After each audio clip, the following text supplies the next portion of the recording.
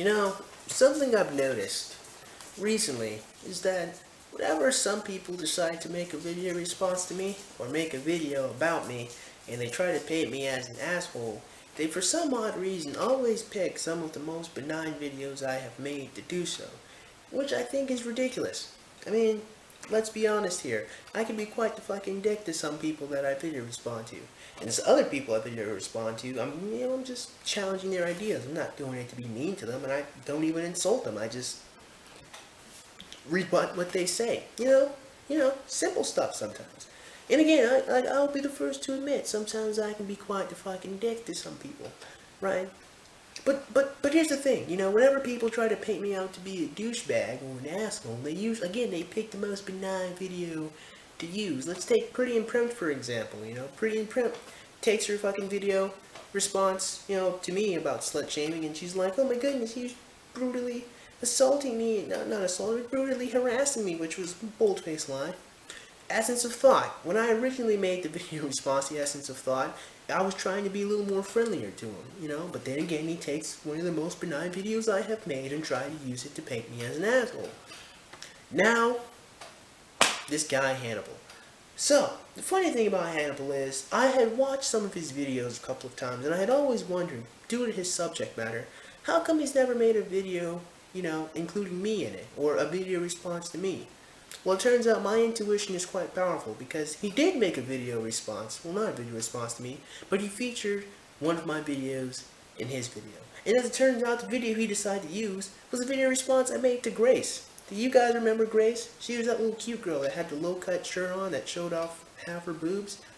Yeah, I didn't insult Grace in that video. I just rebutted the things she said and just explained some things to her. It's fucking crazy that he picked that. I mean, he could have used a video response, any video response I made to, to Lacey Green, or he could have used a video response I made to Jacqueline Glenn, because fuck Jacqueline Glenn, right? But, no. Now, he picks the video response to Grace. So, let's see what Hannibal has to say about that video. Ladies and gentlemen, and yet more postcards from the Manosphere. I am coming to you from deep behind enemy lines at Camp Slap A Hoe, formerly Camp Winnipesaukee in lovely New Hampshire. Today I bring you various types of misogyny, foolhardiness, and stupidity from the Manosphere, so let us proceed with our discussion of the matters at hand. Something that I've noticed has come up since this whole uh, celebrity hack, and is something that has happened over and over again, and to which I have actually had to reevaluate uh, just recently, is the idea of shaming promiscuity in women. Now, in uh, a little while, we're going to see just how much this happens, and also I want to make very clear to people here that when we're having this discussion, unfortunately, this is actually a discussion about men, believe it or not, and how men perceive certain things. Uh, so we will move forward with this particular observation at present. So what are we actually talking about? Well, we're talking about what many sex-positive feminists would identify as slut-shaming. Now, whether you like that terminology or not, that's actually what's going on here. And in the course of my perusing the manosphere and the interweb machine for prime material to try and demonstrate just how ridiculous these concepts really are. I stumbled across this little gem. I will link in the low bar the video this belongs to and the gentleman who is making this video. I will also which he did not do, link to the original video by this young lady named Grace who was talking about this subject matter. But, excuse me, it is a jumping off point for what uh, I want to discuss here and point out to people so that they understand why something like this is problematic. So let's proceed with the first clip and, well, you'll see what happens. Uh, hi everybody, my name's Grace. Hi, Grace. Hi, Grace. Now, to provide a bit of context for people who have not seen that video response I made to Grace, the reason why I made the little quip or the joke about Grace showing off cleavage was for a couple of reasons. One, to show that cleavage, especially for teenage boys who are going through puberty, can be distracting. And two, to point out the fact that it was a conscious decision that Grace made. That's the point, that Grace was consciously showing off her cleavage for whatever reason. That's why I made the quip. It's a little teasing thing. I wasn't I wasn't making a statement that Grace was a slut. There's no way to ascertain that information based on her attire. However, I can say that it's yeah, yeah, it's probably a very conscious decision that she made. That was the point of the fucking joke. Continue. Okay, now the particular jumping off in context for this discussion, as I already iterated, was slut shaming, and this young lady Grace was pointing out to the hypocrisy involved with ideas concerning dress codes in school. In other words, that the dress codes in schools tend to predominantly come down harder on women than they do on men. And the reason that's why that is is quite simple actually.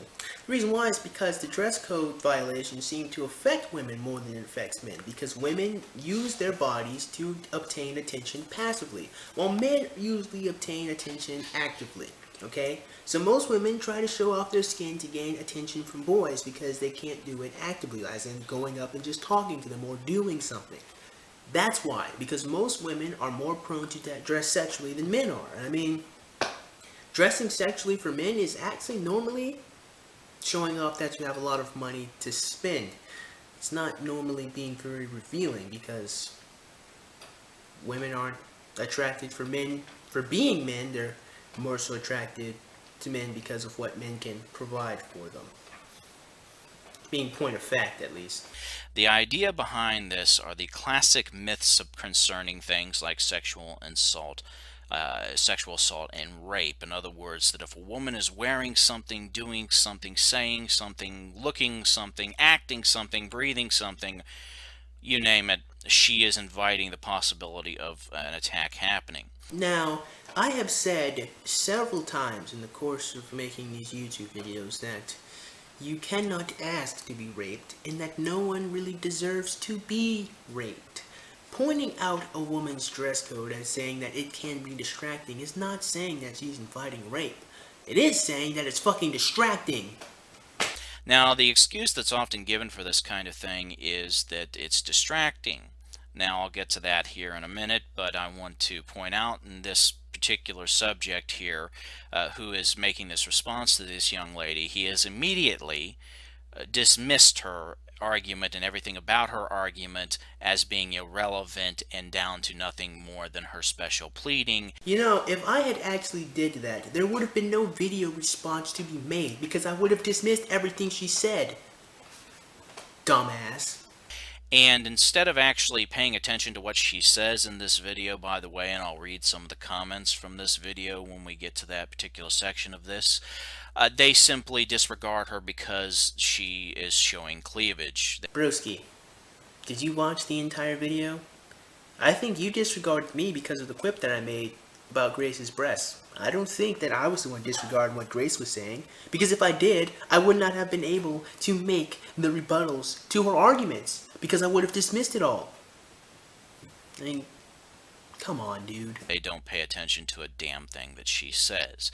This is the kind of thing that women hate. In other words, they don't like being disregarded simply because of what they're wearing.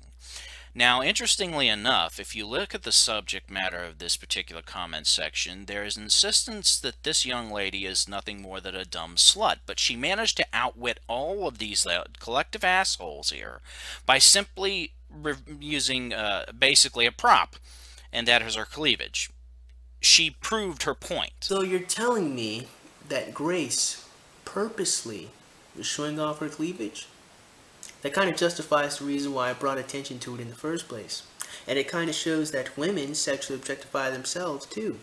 It also shows that women have a level of agency. Look, I can go on and on all fucking day based on that whole thing that Grace purposely used her body to prove a point. Continue though.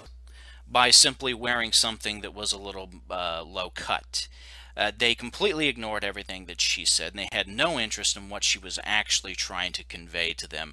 And once this was done, her opinion, her ideas, in fact, her very legitimacy were completely disregarded, and we'll see that in the comments. And this gentleman here is actually showing that particular aspect of this. Fuck you. Oh, fuck you, fuck you, fuck,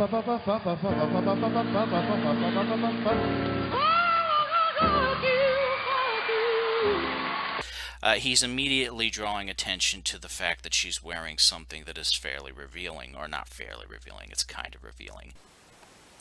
Yeah, yeah, that was, it was very revealing. And it was a distraction I greatly appreciated.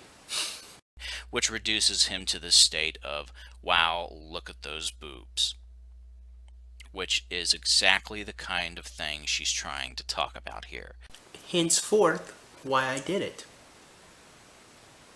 But you guys failed to understand that. So, let's proceed. Okay, so my rant is about like slut and whore shaming. What's so bad about being a slut or a whore, anyways? Um, STDs, unwanted pregnancy, lack of respect from your peers. Okay, this is what after watching this uh, this video I had to come to reevaluate, reassess and come to an epiphany of that I want to discuss with everybody now. Uh, as we're all well aware, people like Thunderfoot, Richard Dawkins, and various other people throughout the manosphere try to mansplain to women various aspects of what their behavior are doing to them. That wasn't mansplaining, you doofus. That was answering her question. It's framed in a very paternalistic idea of concern and desire to protect women from harm. Yeah, but you do understand the natural inclination of men has always been to protect women. Actually, I don't think you understand that. Otherwise, you wouldn't have said what you just said. When in fact that's actually not what's going on here. What's going on here is a bunch of condescending bullshit that we will now attempt to untangle Well, Hannibal, you did write the book on how to be a condescending asshole, so yeah, that probably is exactly what's going on, and I just didn't realize that.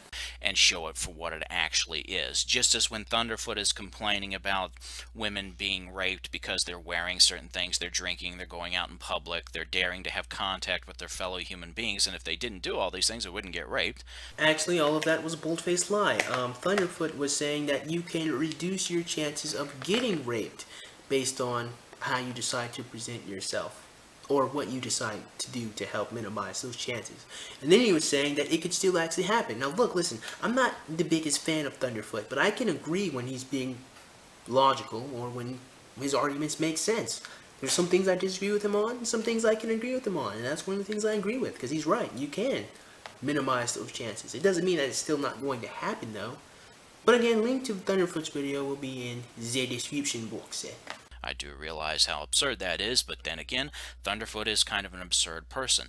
Uh, also, this kind of stuff is demonstrated by people like Dean Esmay, Paul Elam, John the Other, uh, all these idiots that are a part of places like the Voice for Men and other, uh, dare I say, uh, men's rights, which are actually men's supremacy movement sites that encourage this kind of thing. And this is what this kind of paternalistic bullshit you're seeing right now.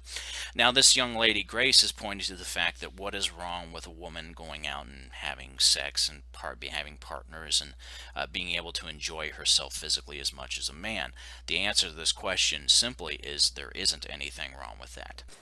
I mean, do you have selective hearing? You posted the answer to that question that I made personally in your video, and then you go on to say that there's nothing wrong with it, clearly understanding that it is possible to get unwantedly pregnant and that it is possible to contract STDs and it's possible to get attached to someone that you never really wanted to get attached to in the first place. You saw the vi- Forget it. Just forget it.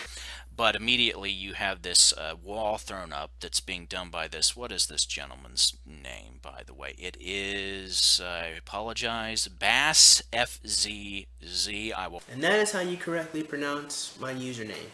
For anyone that was confused. link to the uh, offending video in the low bar, therefore everybody can go and check it out for themselves. Uh, now, to get you an idea about just how prevalent and how ridiculous this kind of stuff is, let's read some of the comments from below. Uh, a gentleman by the name of Ace says, and I quote, This stupid bitch is complaining about slut shaming when she herself is showing off a hint of her cleavage throughout the entire video. Uh, remember how I talked about earlier that they're disregarding everything she says and just concentrating on her appearance? This is what I'm talking about. Uh, he says, Piffed, and these stupid bitches wonder why uh, they're not taken seriously. If you dress and act like a slut, then you better expect to be tre- uh, to be treated like to, to, for people to treat you like one. Now, granted, I don't really think Ace should have insulted Grace, you know. However, there was truth in his comment. And he's absolutely right. If you're going to dress provocatively or dressed in a manner that makes you look like a prostitute or that brings attention to your sexual organs or to your breasts or to your ass, then you're going to get treated a certain way. He's right. Ace was absolutely freaking right. The way you dress is going to influence the way you get addressed. It's just that simple. Being a slut or a promiscuous woman is a negative thing, yet women want to be ridiculed for being sluts, uh, or don't want to be ridiculed for being sluts and wear the label of slut as a badge of honor. How fucking pathetic. Uh, another one. Uh, let's see. Uh, one asking what a size her bra is. Very, very classy, boys. Uh, let's go for. Oh, here's another one from somebody named Sharpful. Or sh yeah, Sharpful. Uh, why don't we all just stop beating around the bush and just say it? Women have who have meaningless sex indiscriminately with many different partners just don't have the same sexual value of women who are selective with who they're sleeping with. Uh, this is nothing to be ashamed about. It's how masculinity is evolved. And because I'm running low on memory and patience, I'm going to end the video right there. So, uh, yeah, Hannibal, you could have picked a much better video to make me look like a douchebag. Not sure why you picked this one. That being said, I certainly hope you guys enjoyed today's video, and if you did, man, go ahead and click that like button. Go ahead and click that subscribe button. Comment in the comment box below, and as always, have a great day. I'll see you cool cats soon. Adios.